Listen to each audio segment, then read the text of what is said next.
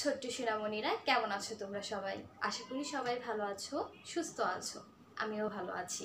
Shine computerised কিন্টার গার্ডেনের online ভিত্তিক ক্লাসে তোমাদের সবাইকে আমি স্বাগত জানাচ্ছি। আশা করি তোমরা প্রতিদিন তোমাদের অনলাইনের ক্লাসগুলো খুব মনোযোগ সহকারে করে থাকো। আর বাসায় আমরা যে পড়াগুলো দিয়ে থাকি সেগুলো কমপ্লিট করে থাকো। তো ম্যাম আজকে তোমাদেরকে পড়াবো তোমাদের অ্যাক্টিভ বইয়ের, দেখো, তোমাদের অ্যাক্টিভ যে বইটা আছে অ্যাক্টিভ ইংলিশ এই বইটা আজকে আমরা পড়ব। এই বইয়ের আজকে আমরা পড়ব তিন নং। কি পড়ব? তিন নং। চলো আমরা পড়ি।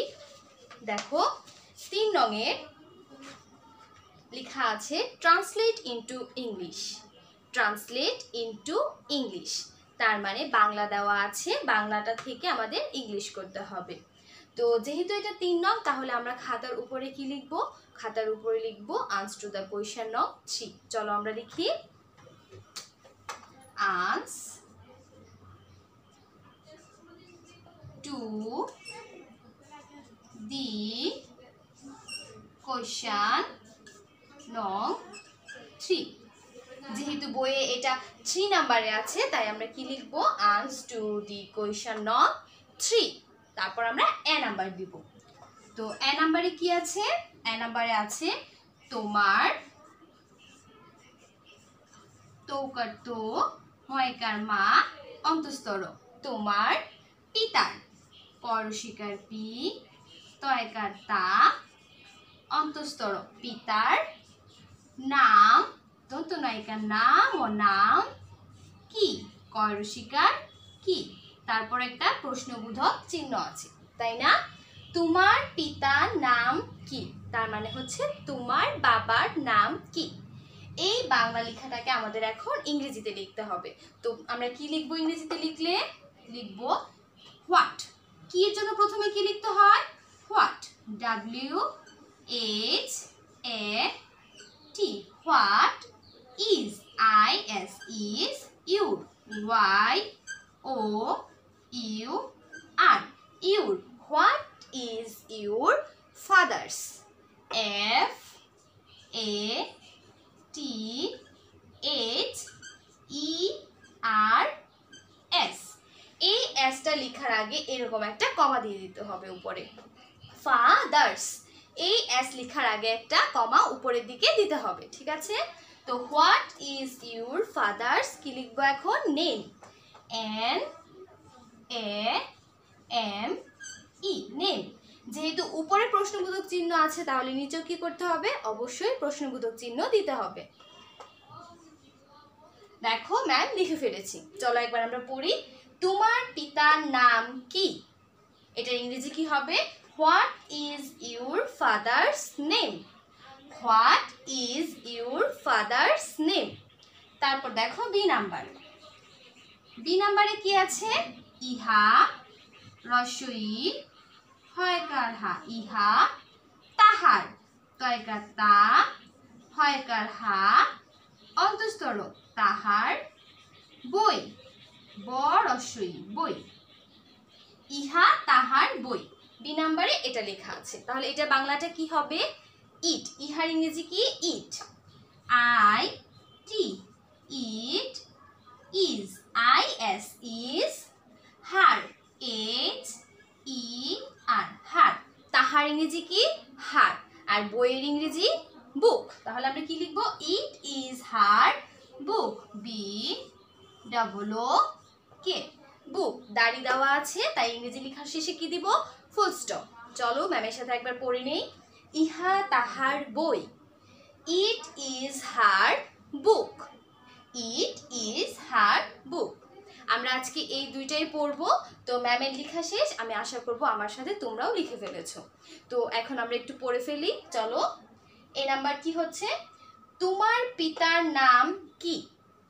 What is your father's name what is your father's name তারপর কি আছে? বি নাম্বারে, ইহা তাহার বই।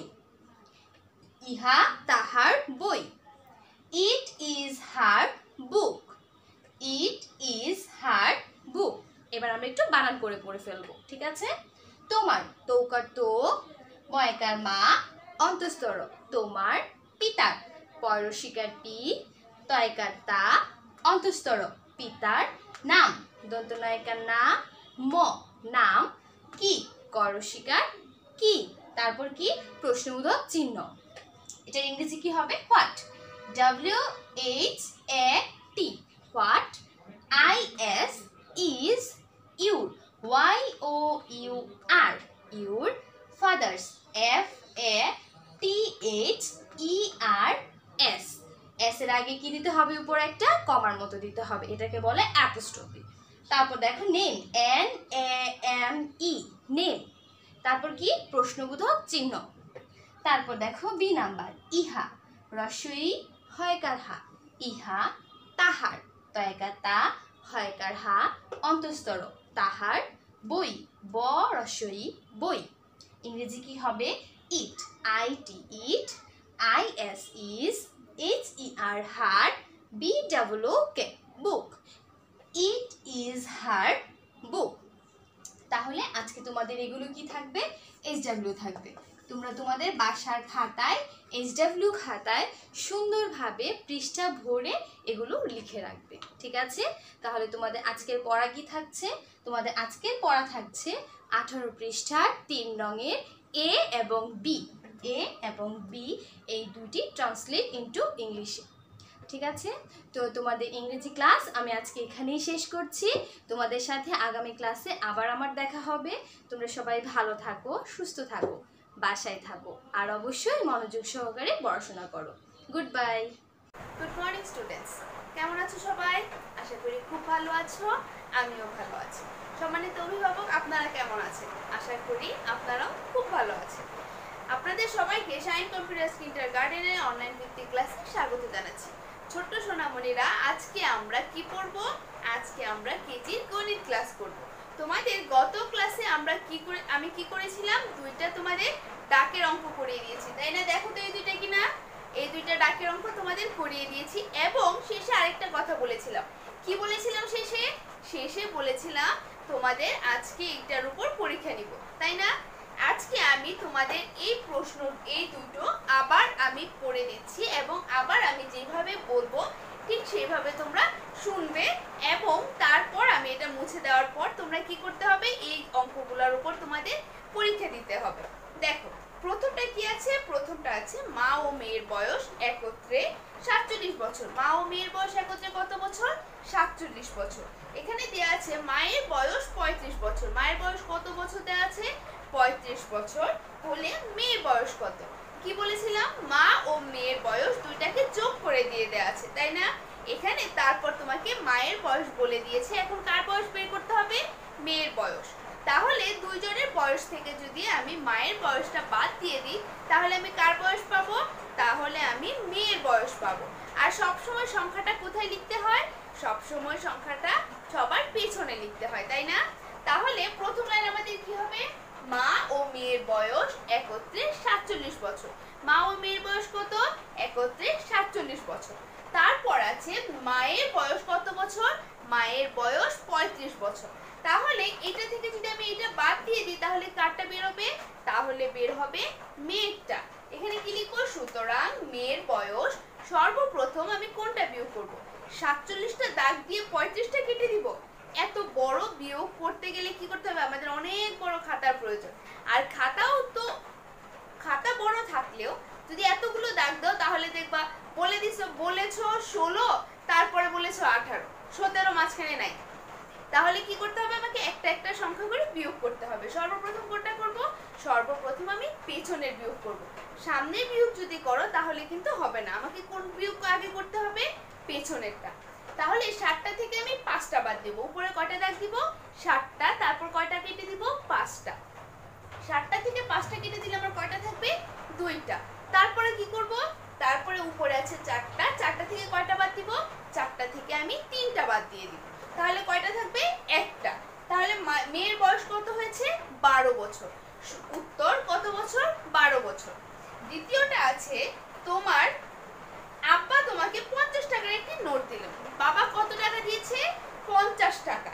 এখন তুমি কি করেছ? তুমি তা থেকে বিশ টাকা খরচ করেছ। তুমি তা বিশ টাকা দিয়ে কি কিনেছো? বিশ টাকা দিয়ে সবাই আমরা খুব বেশি আইসক্রিম খেতে পছন্দ করি, তাই না? তাহলে বিশ টাকা দিয়ে আমি কি করেছি? একটা আইসক্রিম কিনে নিয়েছি। এখন আমার টাকাটা কমে যাবে না। আর কমে গেলে কি করতে হয়? কমে গেলে সবসময় বিয়োগ করতে হয়। তাহলে আমি প্রথম কি লিখব? আব্বা দিলেন পঞ্চাশ টাকা। আব্বা কত দিয়েছেন? আব্বা দিলেন পঞ্চাশ টাকা। তারপর কি লিখব আমি? খরচ হলো বিশ টাকা। এখানে খরচ হলো না লিখে যদি লিখো যে খরচ করলাম তাহলেও হবে। কত? বিশ টাকা। তারপর কার কাছে আছে? আম, সুতরাং আমার আছে শূন্য থেকে শূন্য বাদ দিলে কত থাকবে? শূন্য। তারপর আছে পাঁচ থেকে দুই বাদ দিলে কত থাকবে? তিন। তাহলে কত টাকা হয়েছে? তিরিশ টাকা। উত্তর কত? উত্তর তিরিশ টাকা। আমরা এই দুটো অঙ্ক সবাই খুব ভালো করে পারি। খুব ভালো করে পারি না? তাহলে আমরা কি করব এখন? এই দুইটা অঙ্ক আমি তোমাদের বোর্ডে লিখে দিচ্ছি। তোমরা এই বোর্ড থেকে লিখে লিখে এই বোর্ড থেকে দেখে অঙ্ক করবে। অবশ্যই তোমরা কেউ আজকে বই খুলবে না। ঠিক আছে? আমি কি করব? আমি সর্বপ্রথম ডাকটা লিখে দিই। দেখ, আমি বোর্ডে ডাকটা লিখে দিচ্ছি এই কারণে যেন তোমরা বইটা না খোলো।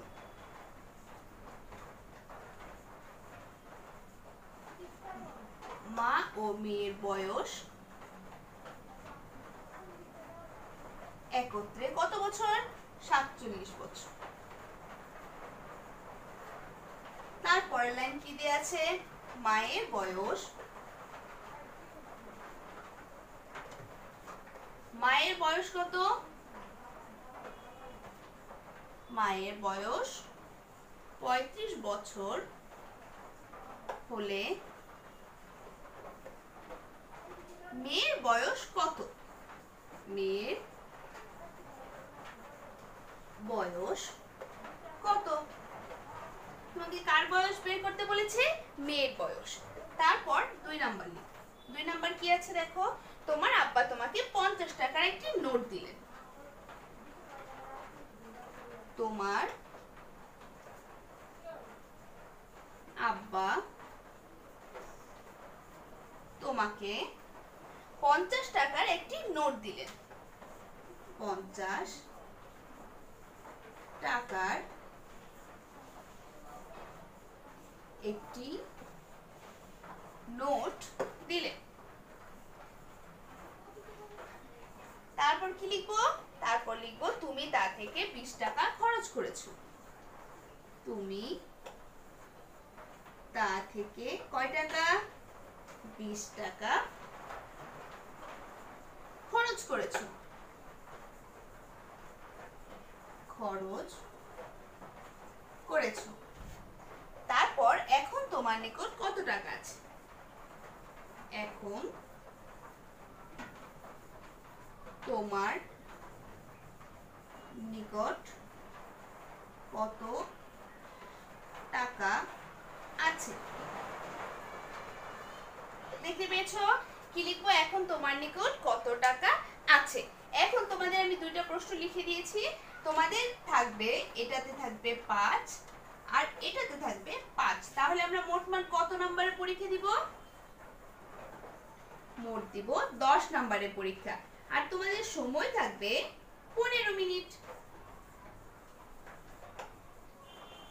সময় কতক্ষণ? সময় হলো পনেরো মিনিট। তাহলে এই দুইটা অঙ্ক খুব ভালো করে এখন তোমরা বইটা বন্ধ করে খাতার সামনে নিয়ে এই দুইটা অঙ্ক পড়বে ঠিক আছে? সম্মানিত অভিভাবক, আপনারা একটু কষ্ট করে দেখবেন, তারা যেন আগের পৃষ্ঠাটা না উল্টায় অথবা বই যেন না খুলে। ঠিক আছে? ছোট্ট সোনামণিরা খুব সুন্দর করে পরীক্ষা দিবে, যেন আমরা খাতা দেখেই বলতে পারি, ওয়াও, অনেক সুন্দর হয়েছে ঠিক আছে?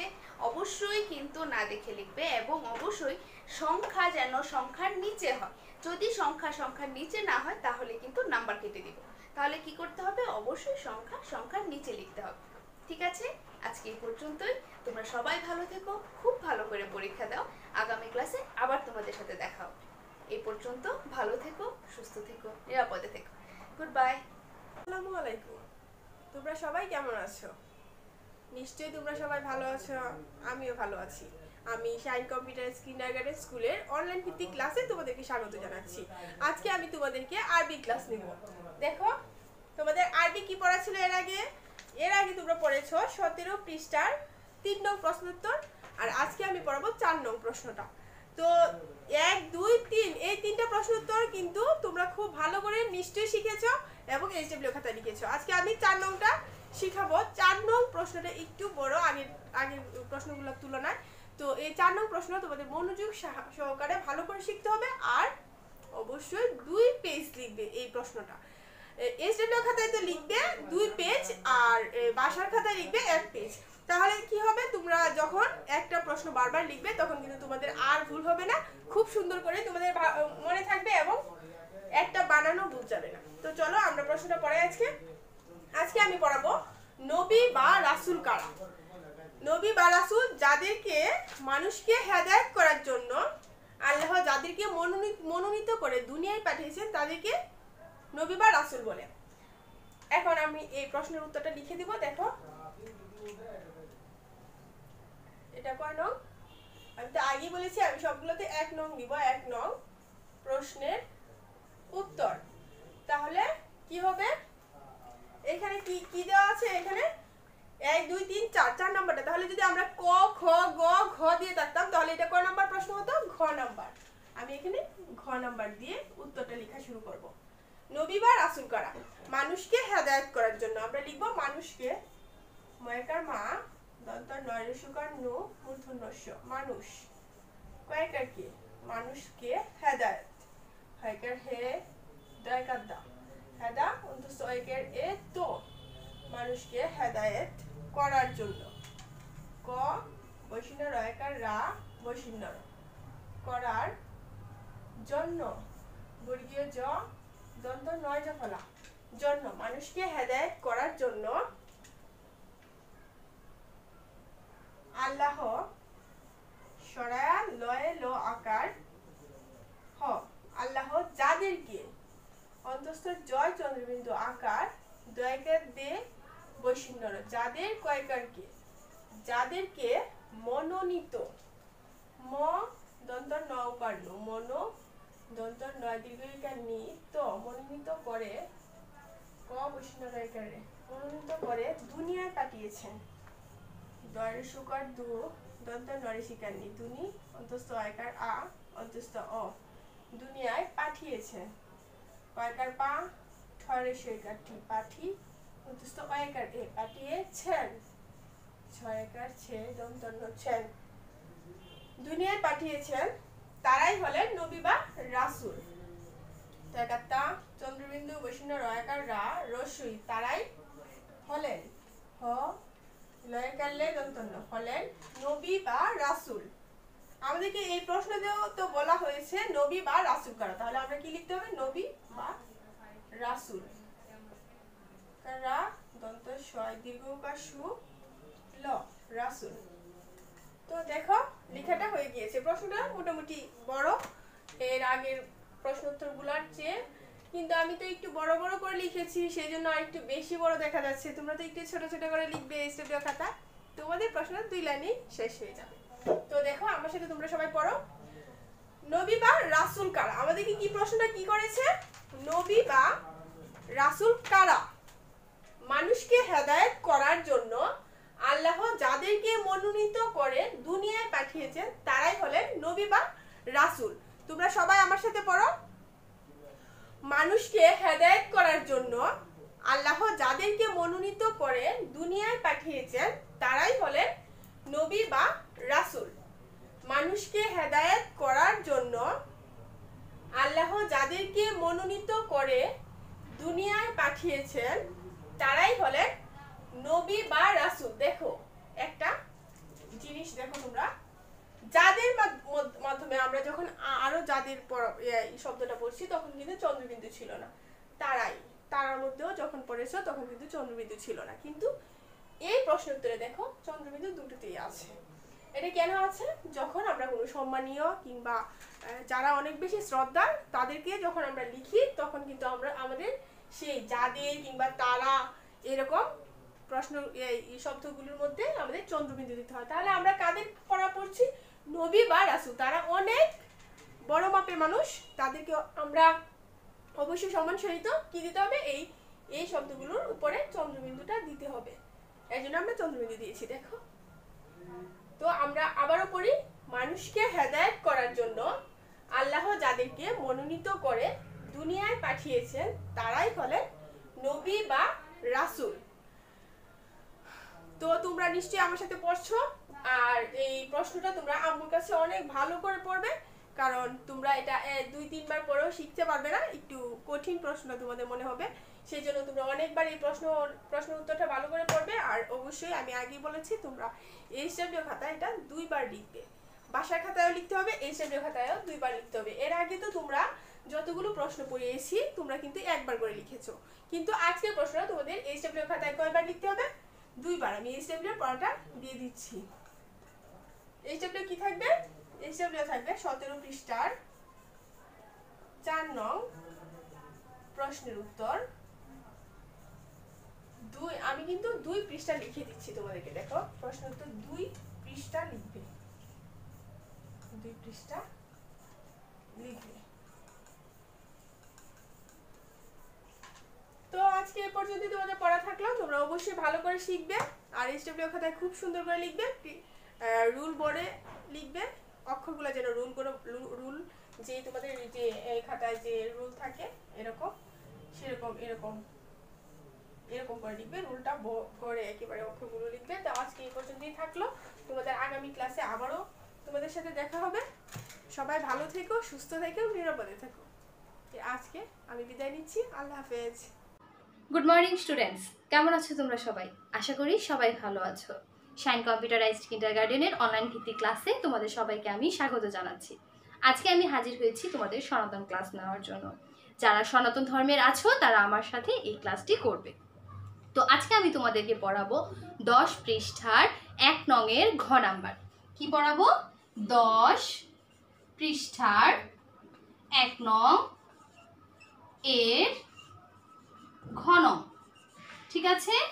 এটা আজকে আমরা পড়ব তো দশ পৃষ্ঠার এক নংয়ের ঘতে যে প্রশ্নটা আছে সেটা হচ্ছে, ঢাকেশ্বরী মন্দির কোথায় অবস্থিত?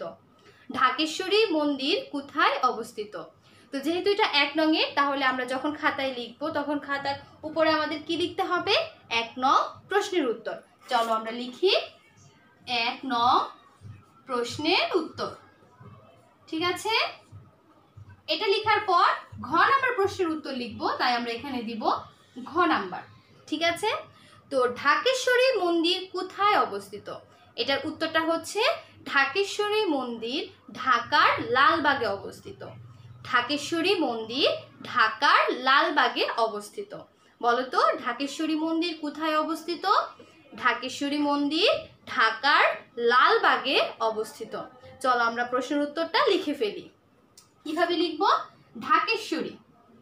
আমাদের বইয়ে সুন্দর করে লেখা আছে, ঢাকেশ্বরী, দেখো ম্যাম লিখছি ঢয়কার ঢা কয়কার কে, তালব্যস্য, বফলা অন্তস্থ র দীর্ঘইকা। ঢাকেশ্বরী, মন্দির, ম, দন্তন্য, দ, রসিকার অন্তস্তর ঢাকেশ্বরী, মন্দির, ঢাকার, ঢয়কার ঢা, কয়কার কা অন্তস্তর ঢাকার লালবাগে লয়কার লাল লাল, বয়কার বা, গয়কার গে, বাগে। ঢাকেশ্বরী মন্দির ঢাকার লালবাগে অবস্থিত চলো লিখি অবস্থিত, স্বরেও ব দন্তস্ব থ সংযুক্ত ত। অবস্থিত, ঠিক আছে? তো ম্যামের প্রশ্নটা লেখা হয়ে গেছে। এখন ম্যামের সাথে তোমরা একটু পড়ে ফেলো। ঢাকেশ্বরী মন্দির ঢাকার লালবাগে অবস্থিত। প্রশ্নটা হচ্ছে, ঢাকেশ্বরী মন্দির কোথায় অবস্থিত? প্রশ্নটা কি? ঢাকেশ্বরী মন্দির কোথায় অবস্থিত? আমাদের ঘ নাম্বার যে প্রশ্নটা আছে, সেই প্রশ্নটা হচ্ছে, ঢাকেশ্বরী মন্দির কোথায় অবস্থিত? আর এটার উত্তর হচ্ছে, ঢাকেশ্বরী মন্দির ঢাকার লালবাগে অবস্থিত। ঢাকেশ্বরী মন্দির ঢাকার লালবাগে অবস্থিত। তাহলে আজকে তোমাদের বাসার পড়া থাকবে দশ পৃষ্ঠার এক নগের ঘ, শিখা এবং লিখা। শিখা এবং লিখা। তোমরা এই প্রশ্নের উত্তরটা বাসায় খুব ভালোভাবে শিখবে, বানানগুলো খুব মনোযোগ সহকারে শিখবে, আর পৃষ্ঠা ভরে এসডাব্লিউ খাতায় তোমরা এই প্রশ্নের উত্তরটা লিখবে। তো আজকে তোমাদের ক্লাস আমি এখানেই শেষ করছি। তোমাদের সাথে আমার আবার দেখা হবে। তোমরা সবাই ভালো থাকো, সুস্থ থাকো, আর আম্মু আব্বুর কথা মেনে চলো। ঠিক আছে? Good bye